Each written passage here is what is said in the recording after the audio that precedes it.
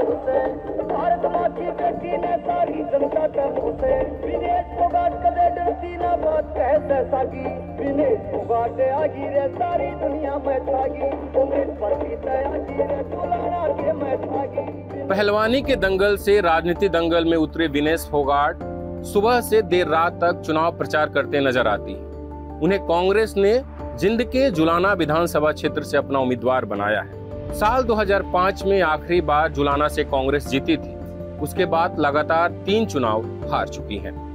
यही नहीं साल उन्नीस से अब तक हुए 14 चुनावों में कांग्रेस सिर्फ़ चार बार यहाँ से चुनाव जीती हालाँकि विनेश कॉन्फिडेंट नज़र आती है। चुनावी दंगल में उतर चुकी है। पहलवानी वाला दंगल ज़्यादा कठिन है कि ये वाला? देखो स्टार्टिंग में तो सब चीज़ें मुश्किल ही होती हैं। मेरे लिए नया है क्षेत्र बिल्कुल और लेकिन अपने लोग अपने बहुत सारे साथ में है अपने पूरा पूरा परिवार अपने साथ में खड़ा है तो आसान हो जाएगी राह। सीख रहे हैं समझ रहे हैं चीज़ों को। जो जुलाना क्षेत्र है कांग्रेस 2005 में आखिरी बार जीती थी आपको जब टिकट दिया गया तो कुछ डर लगा? नहीं नहीं डर के तो कोई बात ही नहीं है खिलाड़ी हैं डरेंगे किसी चीज़ से। डर से तो हम खिलाड़ी होने के नाते ही हम बहुत आगे निकल चुके थे। और डर नहीं है एक्साइटमेंट है नई जर्नी है जिम्मेदारियाँ बहुत ज़्यादा हैं। उनको कैसे समाधान उसका निकाले कैसे हर इंसान की हर हमारे परिवार के हर एक सदस्य की बात को सुनी जाए उनको समझा जाए उनका निवारण किया जाए उस दिशा में हमें काम करना है तो वो ज़िम्मेदारी हमारी है।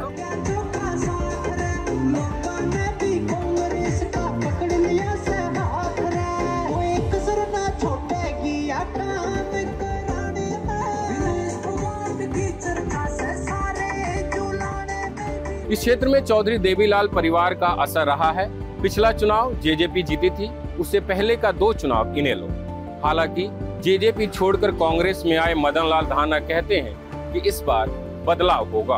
पहले हम लोग इनेलो में होते थे जेजेपी इनेलो प्लस होती थी पहले इनेलो।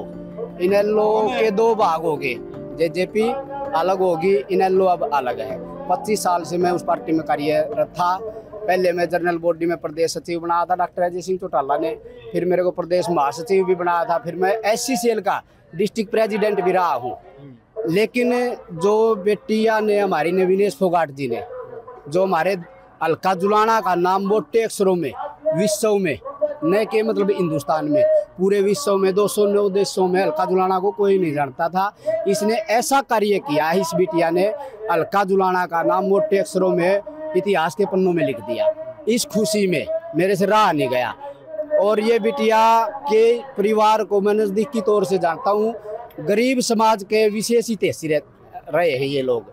तो मैंने विनेश फोगाट जी के का जो मनोबल ऊपर से घटाया गया राजनीति दलों द्वारा, इस विषय में आम जनता ने बिटिया को सिर पर बिठाने का काम किया है। इसी खुशी में मैंने जेजेपी को अलविदा कह दिया और अहम बिटिया के पक्ष में एक एक वोट हाथ के पंजे पर दबा करके इस बिटिया को मंत्री बना, बनाना चाहते हैं, मंत्री पद पर देखना चाहते हैं। चुनाव प्रचार के दौरान दिनेश फोगाट को कोई पैसे देकर सम्मानित कर रहा है तो कोई पैसों की माला पहनाकर।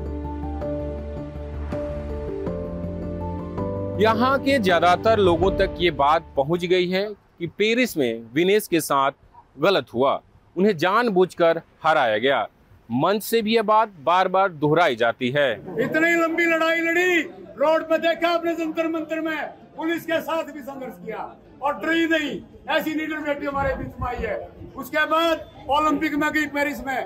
पेरिस में तो दुनिया की सबसे बड़ी विश्व अरे बोलो विश्व चैंपियन थी जो, उसको हराया और तीन तीन कुश्तियाँ जीती और जब कुछ लोगों को यह लगा अगर बेटी तो मेडल लेगी, सौ परसेंट लेगी उनको बड़ी तकलीफ़ हुई। षड्यंत्र के तहत हमारी बेटी को डिस्कालीफाई किया गया। जब आपने तीन कुश्ती जीती बेटी, पूरा देश आपके लिए झूम रहा था, खुशी मना रहा था। लेकिन जब पता लगा कि डिस्कालीफाई कर दिया, कुछ लोगों ने सौ ग्राम वज़न के उसमें इनको निकाल दिया बाहर तो पूरे देश के आँसू थे। हर आदमी दुखी था। बाहर कटा लिए पानी अंदर से सूख गया और मौत की कगार पा गई। लेकिन इनका जोश कम नहीं होया। क्यों? क्योंकि इन्होंने हिंदुस्तान को गोल्ड मेडल दिलाना था। लेकिन ये तानाशाही सरकार, ये बीजेपी सरकार और इसके बैठे जो नुमाइंदे हैं, जो अदानी और अंबानी के लिए काम करते हैं, उन लोगों ने हमारी इस बहू के साथ, बेटी के साथ ऐसा अन्याय किया कि कहीं ये गोल्ड मेडल ना ले जाए। उसके लिए जो वहाँ पर उसके साथ जो काम कर रहे थे, उन कोचों के माध्यम से इनको पता नहीं क्या खिलाया, क्या नहीं खिलाया। इनका सौ ग्राम वज़न भी नहीं घटा, नहीं वरना सौ सौ ग्राम वज़न तो एक घंटा दौड़ के। मेरी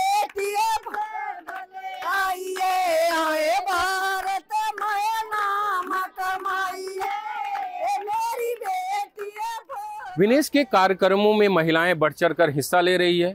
कोई उन्हें गोद में उठा लेता है तो कोई उनके लिए गीत गाता है। विनेश भी इन महिलाओं से गले मिलकर उनसे आशीर्वाद लेती नज़र आती हैं। लड़की के लिए बढ़िया नहीं होया जियो जो भी कुछ होया है। हम बोटी से ने देवांगे। ठीक है तुम्हारी बेटी है। माना हमर दर्दरी आई है इसकी तो इसका साथ खड़े हुए हाँ। और हम इसका साथ थे खड़े थे। पहले भी इसके साथ खड़े थे। आज भी इसके साथ खड़े हाँ जी। तो क्या गलत हुआ विनेश के साथ आपको बहुत सारा गलत होया जी जितना भी होया है ये सारा गलत होया है जी इसके साथ। ये पापा खड़े होंगे तो साथ देवांगे। अपनी लड़की है अपनी बेटी है अपना जो भी कुछ है अपना है जी। किस बिरादरी से आते हैं आप? हरिजन।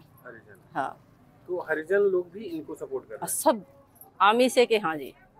ये हमारी है आमिष के हाँ जी। विनेश को हम इसलिए चुन रहे हैं क्योंकि उनके जो बेटी की आवाज़ वहाँ इंटरनेशनल लेवल पर उनको हरा दिया गया। किसी साजिश के तहत। तो हम उनका अब सम्मान करेंगे अब उनको भारी वोटों से जिताएँगे। तो ये आप लोगों का जवाब होगा। जी। और अगर वो जीत जाती है तो क्या उम्मीद करेंगे आप? हम उम्मीद करेंगे कि वो खेल मंत्री बने और अपनी बेटियों को अपनी जो हमारी बहनें आगे बढ़ना चाहती हैं खेलों में उनको पूरा सपोर्ट करें। जिस तरीके से बीजेपी ने ब्रिजभूषण का एक तरीके से बचाव किया। टिकट तो काट दिया लेकिन उनके ही बेटे को दे दिया। वो सब भी दुख आप लोगों को जी बिल्कुल। क्योंकि फिर क्या फ़ायदा हुआ? उसका विरोध करने का फ़ायदा ही क्या हुआ? वो नहीं तो उसका बेटा बन गया। फिर क्या फ़ायदा हुआ?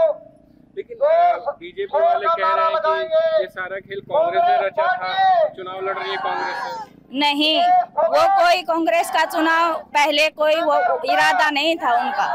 लेकिन जब वो दिल्ली के वहाँ बैठी जंतर मंतर पे, उसने विरोध किया और वो हमारी जो बहन थी, वो रोडों पे घसीटी गई। ये गलत था। कांग्रेस तो तब समर्थन में आई। विनेश फोगाट अलग अलग कार्यक्रमों में मंच से ब्रिजभूषण सिंह के खिलाफ किए अपने आंदोलन का ज़िक्र करती हैं और कहती है कि हमने अभी उस आंदोलन को छोड़ा नहीं है। लड़ाई स्टार्ट की थी, हमारी लड़ाई नहीं थी, वो हमारी बहनों की लड़ाई थी। और ऐसे मत मानना, वो लड़ाई खत्म हो गई वो लड़ाई आज भी जारी है, इसलिए वो जारी है।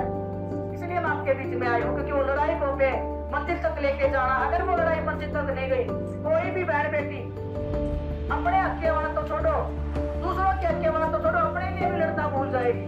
वो संघर्ष का मैदान नहीं छोड़ेगी, वो करके बस कपड़ों को छूना पसंद करेगी, क्योंकि आप लोगों ने उसका साथ नहीं दिया। विनेश के कांग्रेस में शामिल होने और चुनाव लड़ने के फैसले के बाद ब्रिजभूषण सिंह समेत कई अन्य बीजेपी नेताओं ने कहा कि जो महिला पहलवानों का आंदोलन था, वो कांग्रेस का किया धारा था। क्या इससे महिला पहलवानों का आंदोलन कमज़ोर हुआ? इस सवाल के जवाब में विनेश, सुनिए क्या कह रही हैं। आप जब कांग्रेस ज्वाइन की, उसके बाद से जो ब्रिजभूषण है, जिनके खिलाफ आपने आंदोलन किया था, उन्होंने कहना शुरू कर दिया कि ये तो पहले से प्लांटेड था हम कह ही नहीं कि कांग्रेस का सब किया धारा है। क्या आपको लगता है कि आपके इस कदम से आपके आंदोलन पे असर पड़ा है? नहीं नहीं बिल्कुल बिल्कुल भी नहीं पड़ा है। आंदोलन पे असर क्यों पड़ेगा? आंदोलन तो हम अब भी नहीं करें हमारी लड़ाई कोर्ट में चल रही है। वो तो दूध का दूध पानी का पानी हो जाएगा एक टाइम के साथ। वहीं विनेश के राजनीति में आने और चुनाव लड़ने के फैसले पर उनके पति सोमवीर राठी बताते हैं। हमने कभी ज़िंदगी में सोचा नहीं था कि हम इस फ़ील्ड में आएँगे। तो हमने देखा कि सरकार हमारे साथ बिल्कुल भी नहीं है। हमने वो देख लिया था। फेडरेशन हमारे साथ नहीं है। क्यों? फेडरेशन में तो अभी ब्रजभूषण का आदमी बैठा है। तो कुश्ती करें तो किसके लिए करें? देश जब उसको सपोर्ट नहीं कर रहा मतलब एक जो सरकार बैठी है देश में, वो सपोर्ट नहीं कर रही, उनको मेडल की ज़रूरत ही नहीं है। तो इससे अच्छा अपने घर पे बैठ जाए हम। राजनीति का तो फिर वही था कि जब हम इंडिया में आए हैं, हमें इतना मान सम्मान मिला है तो हमें मतलब हमारे जो बुज़ुर्ग थे, उन्होंने बताया कि बेटा, तुमने रोड पे बैठ के देखा, तुम्हें कुश्ती भी लड़के देखी। तुम तुमको न्याय मिला नहीं है। चलो, तुम्हारी कुश्ती खत्म हो गई अब। तुमने संन्यास ले लिया है। जो तुम्हारे बहन भाई हैं, उनकी बात उठाओ। उनकी बात तुम जब भी उठा पाओगे, जब तुम पावर में होगे। तो उसके लिए सबसे मतलब यही था कि भाई, हम, चलो हमारा जो हुआ होना था, हमारे जो बच्चे हैं, हमारे जो छोटे भाई बहन हैं, जो गेम कर रहे हैं, उनके साथ वो काम न हो और उनको जो सुविधा उनको चाहिए ग्राउंड लेवल पे हम उनको वो मुहैया कराएँ और बस यही था हमारा हमारा का तरीका। कांग्रेस ने आपको अप्रोच किया कि आप लोगों ने कांग्रेस से अप्रोच किया कि हमें चुनाव लड़ना है? देखो, जब हम जंतर मंतर बैठे थे ना, उस टाइम पे पूरे बीजेपी को छोड़ के सब हमारे पास खड़े थे। और सबसे ज़्यादा हमें सपोर्ट किया भाई साहब दीपेंद्र ने। और हमारे मतलब मुख्यमंत्री थे एक्स मुख्यमंत्री भूपेंद्र सिंह हुड्डा जी ने, प्रियंका गांधी जी ने, बहुत ज़्यादा सपोर्ट किया और उन्होंने हमको हमको बोल दिया था कि देखो, फैसला तुम्हारे हाथ में है। करना क्या तुम, तुमको? अगर तुम गेम करोगे तो हम तुम्हारी वहाँ हेल्प करेंगे। अगर तुम ये चाह रहे हो कि भाई हम यहाँ पे आगे मदद मतलब किसी की हेल्प कर पाएँगे तो हम उसके लिए भी तैयार हैं। और देखो बड़ी पार्टी कांग्रेस ही है देश में, बीजेपी को छोड़ बीजेपी में तो जाएँगे क्यों हम? और यहाँ पे मतलब और किसी पार्टी का जनाधार है नहीं, हरियाणा में। तो हमने सोचा कि हम यहाँ से ट्राई करें और मतलब हमारे हल्के के लिए और खिलाड़ियों के लिए हम कुछ करके जाएँ। जुलाना से छियासी नेताओं ने कांग्रेस के टिकट के लिए फॉर्म भरा था। 18 सितंबर को उन तमाम नेताओं को यहाँ के पार्टी दफ्तर में बुलाया गया और विनेश ने सबसे आशीर्वाद लिया। ये दुख की बात नहीं है, बहुत अच्छी खुशी की बात है। एक विश्व सत्र का पहलवान जब हमारे इलाके में आएगा तो विकास होगा चौतरफा और अच्छे विकास के कार्य होंगे। और हम छियासी जनों ने फार्म भरा था कांग्रेस की टिकट के लिए। एक ने भी इसका विरोध नहीं किया, सभी इसके समर्थन में। यहाँ मंच से बार बार कहा जा रहा है कि जुलाना वासी अगर विनेश को चुनते हैं तो सिर्फ़ विधायक नहीं चुन रहे, वो मंत्री चुन रहे हैं। सोनीपत के सांसद सतपाल ब्रह्मचारी ने मंच से घोषणा की। और आज आपके बीच में कहना चाहता हूँ, कांग्रेस की सरकार बनने जा रही है, श्री भूपेंद्र हुड्डा के नेतृत्व जब भूपेंद्र हुड्डा जी मुख्यमंत्री बनेंगे, मेरा पहला काम होगा इस बहन को मंत्री बनाने का, इस बहू को मंत्री बनाने का। बना। तो उम्मीद यह कर रहा सरकार से भी ये खेल मंत्री बनेगी। अच्छा। अगर जीतती है कांग्रेस की सरकार बनती है तो उनको खेल मंत्री जाए। तो मंत्री तो वोट देवा हम तो खेल मंत्री तो अच्छा आप लोग विधायक को नहीं खेल मंत्री को वोट खेल करें। मंत्री को वोट दे रहे हैं। यही है हमारा। जुलाना में सबसे ज़्यादा जाट मतदाता है तकरीबन 45 प्रतिशत। कांग्रेस आम आदमी पार्टी इनेलो और जेजेपी इन चारों ने जाट उम्मीदवार उतारे हैं। वहीं बीजेपी ने ओबीसी उम्मीदवार। बीजेपी नेताओं की माने तो जाटों का वोट बटेगा और बीजेपी को इसका फ़ायदा मिलेगा। हालाँकि यहाँ के लोग ये कह रहे हैं कि ये चुनाव, जुलाना का चुनाव, सम्मान का चुनाव है और हम विनेश को नहीं हारने देंगे। अगर विनेश मेरी बात विनेश गई पूरा जाएगा, पूरे देश का समान हार जाएगा। लोग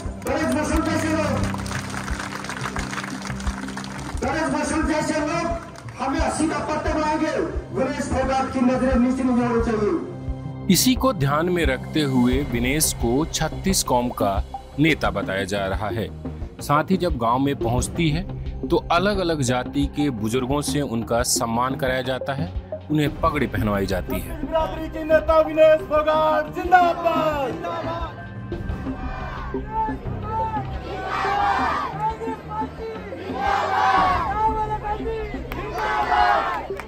पाँच तारीख को मतदान होंगे और आठ को नतीजे आएँगे। देखना होगा कि यहाँ की जनता क्या फैसला लेती है। जुलाना से न्यूज़ लॉन्ड्री के लिए बसंत कुमार की रिपोर्ट।